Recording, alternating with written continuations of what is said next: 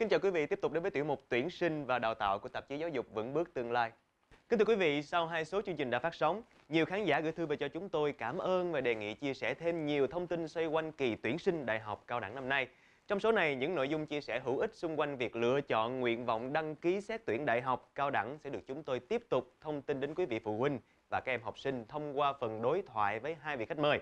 Xin được giới thiệu, đầu tiên, ông Nguyễn Quốc Cường, chuyên viên tư vấn tuyển sinh. À, xin trân trọng kính chào à, quý vị khán giả, à, các em học sinh và quý vị phụ huynh. Và chúng tôi cũng trân trọng giới thiệu Thạc sĩ Võ Văn Tuấn, Phó Hiệu trưởng Trường Đại học Văn Lang. Vâng, tôi xin thay mặt trường Đại học Văn Lang kính chào quý vị khán giả, quý phụ huynh cùng tất cả các bạn thí sinh. Xin được cảm ơn hai vị khách mời đã nhận lời tham gia chương trình của chúng tôi ngày hôm nay. Thì câu hỏi đầu tiên chắc là Thái Dương xin được phép hỏi ông Nguyễn Quốc Cường, ông có những đánh giá gì về à, phương thức tuyển sinh đại học cao đẳng trong năm 2020 này ạ? Quý vị phụ huynh và các em học sinh thân mến, do cái tình hình mà dịch Covid-19, các trường đại học à, cũng như là các trường cao đẳng rất là linh hoạt trong việc xét tuyển bằng à, nhiều cái phương thức khác nhau sẽ sử dụng cái à, kết quả thi từ kỳ thi tốt nghiệp sắp tới Dạ vâng. à, rồi các trường xét tuyển bằng học bạ nhiều trường sẽ sử dụng cái kết quả thi của kỳ thi đánh giá năng lực của Đại học Quốc gia Thành phố Hồ Chí Minh. Và bên cạnh đó phương thức tuyển sinh bắt buộc theo cái yêu cầu của Bộ Giáo dục và Đào tạo đó xét tuyển thẳng này rồi ưu tiên xét tuyển này rồi à, những cái chế độ dành cho học sinh à, vùng sâu vùng xa. Thì như vậy là năm 2020 này cái đường để vào đại học thì rất là rộng mở. Thế thầy à, Tuấn có thể cho em biết là vậy thì ở trường Đại học Văn Lang hiện nay đang có những phương thức tuyển sinh nào không thầy?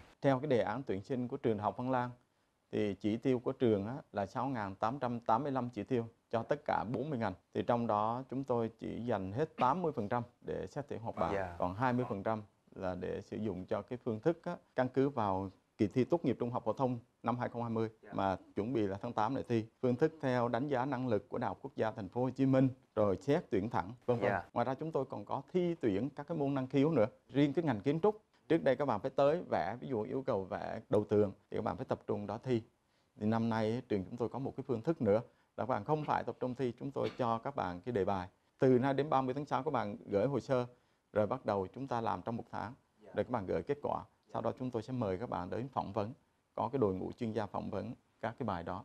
Thì đây là một cái phương thức xét tuyển mới và thế giới người ta đã làm. Dịch Covid-19 đã làm cho rất là nhiều thay đổi. Vậy thì không biết là cái kỳ thi trung học phổ thông sắp tới vào tháng 8 này nó sẽ diễn ra như thế nào hả thầy? Cái này thì nó liên quan đến à, quy chế thi của kỳ thi à, tốt nghiệp mà năm 2020 sẽ tổ chức thi vào hai ngày mùng 9 và mùng 10 tháng 8. Có 3 bài thi bắt buộc là toán, văn và ngoại ngữ. Hai bài thi tự chọn là bài thi tổ hợp môn khoa học tự nhiên và khoa học xã hội. Khác với năm 2019, các em có thể lựa chọn cả hai tổ hợp môn tự chọn để Dạ. chúng ta thi.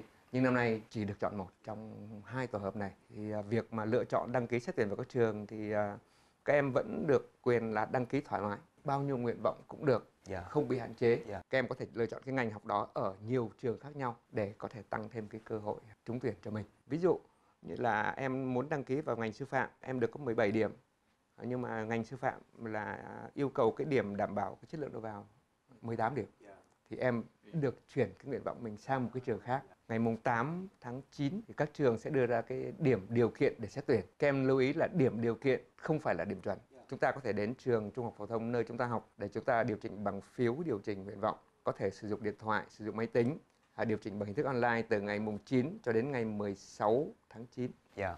các trường sẽ đưa ra điểm chuẩn trước 5 giờ chiều ngày 27 tháng 9. Các em sẽ sử dụng cái giấy chứng nhận kết quả thi Dạ. để xác nhận nhập học tại các trường trước 5 giờ chiều mùng 3 tháng 10. Vậy thì à, nhân đây à, thầy có thể chia sẻ thêm luôn một số cái ngành mà đang được rất là nhiều các bạn thí sinh lựa chọn khi mà nộp đơn vào Đại học Văn Lang được không thầy? trước khi chúng tôi xác định cái chỉ tiêu cho từng ngành Dạ. chúng tôi phải khảo sát thăm dò thị trường để đưa cái chỉ tiêu cho từng ngành một cách chính xác phù hợp với cái nhu cầu xã hội thì ví dụ như cái ngành hiện nay á, đứng top 10 trong cái trường 40 ngành của trường Văn Lang trong hồ sơ đó là quản trị kinh doanh. Dạ. ngành thứ hai là ngành à, quan hệ công chúng truyền thông. Ngành thứ ba ngành ngôn ngữ Anh. Ngành thứ tư ngành tài chính. Và ngành thứ năm đó là ngành quản trị khách sạn.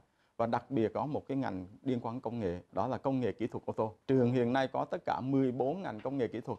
Thì ngành công nghệ kỹ thuật ô tô là ngành hot nhất trong tất cả các ngành hiện nay đang có. Khi mà nhu cầu càng cao thì chúng tôi có thể đáp ứng để dồn một số chỉ tiêu của các ngành khác. Nếu chúng tôi tuyển ít cho các cái ngành mà có nhu cầu cao ví dụ ngành quan hệ công chúng quản trị kinh doanh miễn sao cái năng lực đào tạo của trường đáp ứng được theo yêu cầu. Thì trên trang web có rất đầy đủ thì các bạn thí sinh và phụ huynh có thể lên tìm hiểu thêm các cái thông tin đó. Nhân nói chuyện về ngành hot thì em muốn hỏi thầy Nguyễn Quốc Cường Dịch bệnh Covid-19 nó đã làm thay đổi rất là nhiều thứ Thay đổi cả cái nhu cầu của xã hội nữa. Vậy thì ngành hot có còn hot nữa hay không thầy?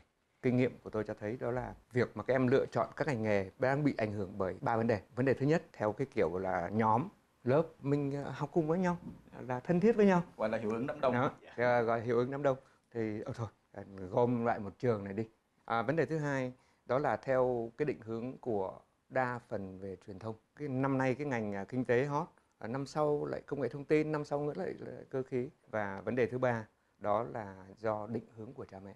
Lời khuyên của chúng tôi đối với các em đó là mình hãy hot trong công việc của mình chứ không phải là mình chọn cái ngành hot tất cả các trường đại học trên cả nước chúng ta đào tạo có 367 ngành thôi nhưng mà có tới 40.000 đầu việc đang chờ các bạn. Ví dụ như các em có bao giờ nghe đến cái nghề gọi là kỹ sư bán hàng chưa? Dạ, đúng không? Kỹ sư bán hàng Kỹ cái sư nghề bán này hàng, nghe, vâng. nghe lạ quá thầy em có thể học chuyên ngành về công nghệ ô tô bên trường đại học Văn Lang chẳng hạn? Dạ, Đó. sau đó bạn học thêm một lớp ngắn hạn về quản trị kinh doanh và bạn đứng bán hàng tại các salon xe hơi. Và một khi mà bạn nắm vững về kỹ thuật đồng gầm máy sơn không nội thất thì bạn sẽ là cái người mà marketing cực kỳ giỏi. Nếu có thêm một cái chút năng khiếu về bán hàng thì người ta đó gọi đó là kỹ sư bán hàng. Hoàn toàn đúng với ngành nghề bạn đã học. Không quan trọng cái việc là trái ngành quan trọng đó là cái kiến thức của các bạn có phù hợp với công việc của các bạn hay không.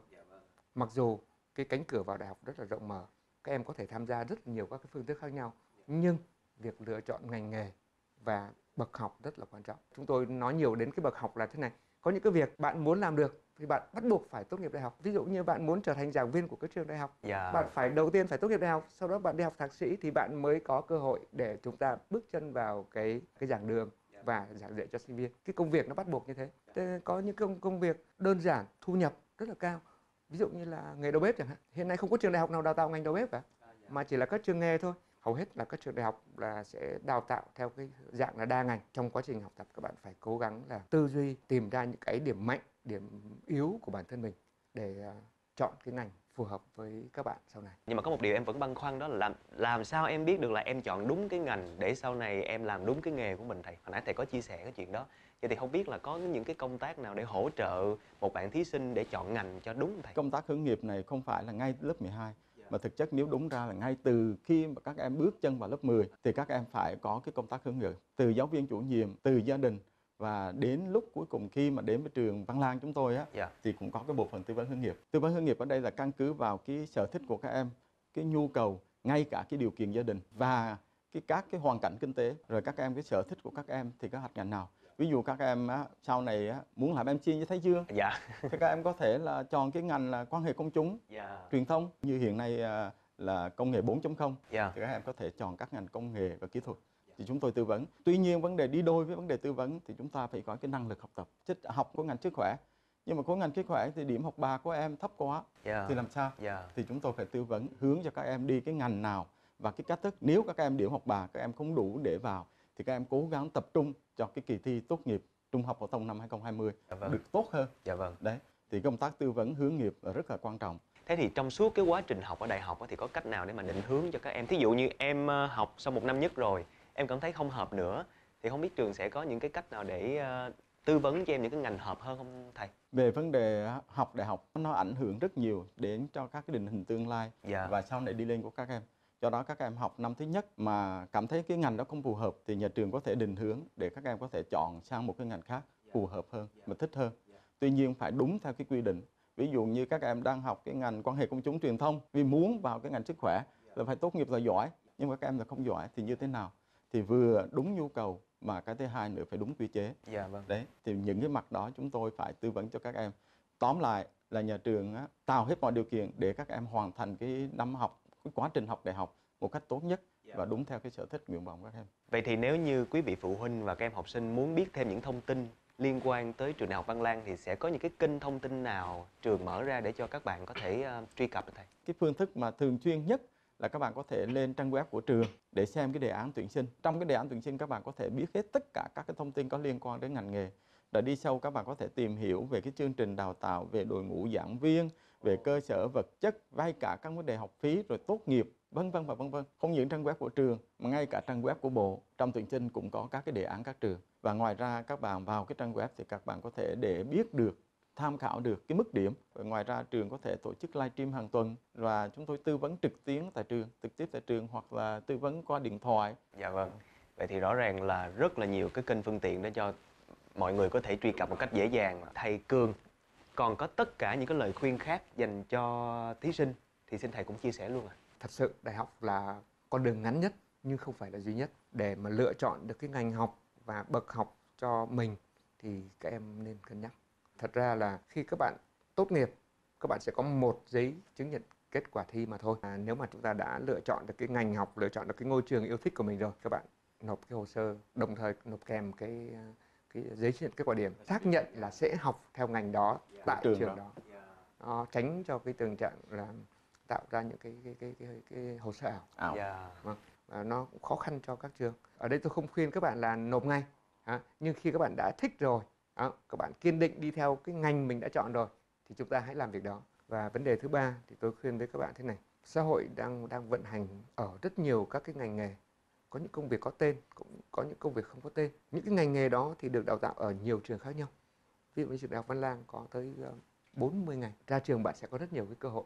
Và xin cảm ơn thầy về những lưu ý dành cho các bạn thí sinh.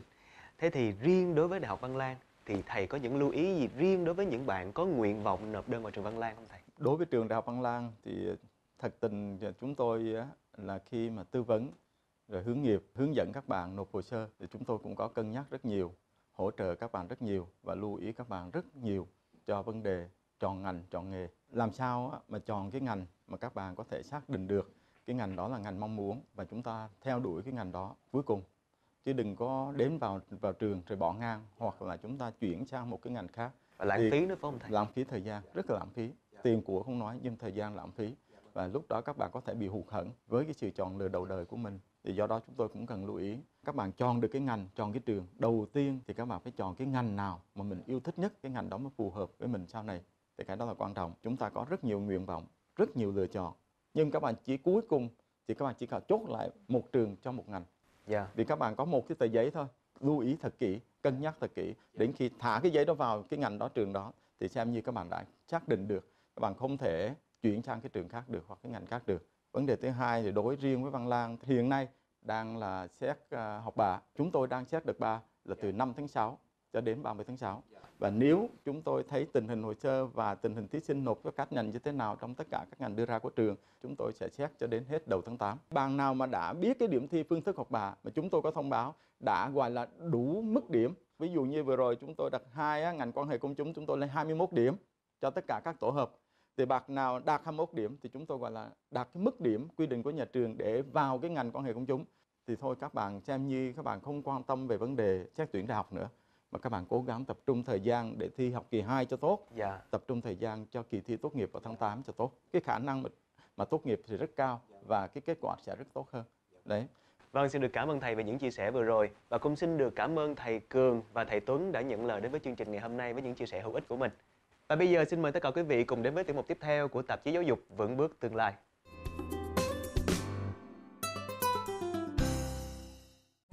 Một số lỗi điền phiếu mà những năm trước rất nhiều thí sinh mắc phải mà các em cần lưu ý như phần thông tin thí sinh, tên phải viết bằng chữ in hoa có dấu, không viết bằng chữ thường. Nếu số chứng minh nhân dân là loại cũ chỉ có 9 chữ số, thí sinh cần điền vào 9 ô cuối cùng ở mục 4 trên phiếu, không điền vào 9 ô đầu tiên.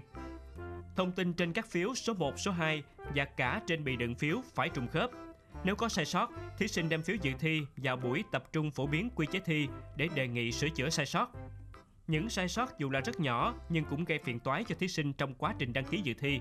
Do đó, các em cần đọc kỹ phần hướng dẫn trước khi điền phiếu. Thí sinh dự thi tốt nghiệp trung học phổ thông năm nay cần lưu ý chỉ được đăng ký một trong hai tổ hợp khoa học tự nhiên gồm vật lý, hóa học, sinh học hoặc khoa học xã hội gồm lịch sử, địa lý, giáo dục công dân thay vì được đăng ký cả hai bài tổ hợp như ở kỳ thi Trung học phổ thông quốc gia những năm trước. Năm nay, thí sinh vẫn được đăng ký số nguyện vọng xét tuyển không giới hạn. Tuy nhiên, theo khuyến cáo của các chuyên gia, thí sinh cũng không nên chọn quá nhiều nguyện vọng vì như vậy vừa tốn kém chi phí đăng ký lại không chắc chắn đã giải quyết được vấn đề. Tốt nhất là xác định đúng ngành nghề mình yêu thích, sau đó xếp thứ tự nguyện vọng từ cao xuống thấp. Trường nào, ngành nào thích vào nhất sẽ được ưu tiên xếp trên. Thí sinh là học sinh lớp 12 đang theo học tại các trường trung học phổ thông sẽ mua và nộp hồ sơ đăng ký dự thi trực tiếp tại các trường. Thí sinh tự do có thể mua hồ sơ tại các nhà sách lớn trên cả nước hoặc phòng giáo dục và đào tạo của quận, huyện và nộp hồ sơ tại các điểm nhận hồ sơ do Sở Giáo dục và Đào tạo địa phương quy định.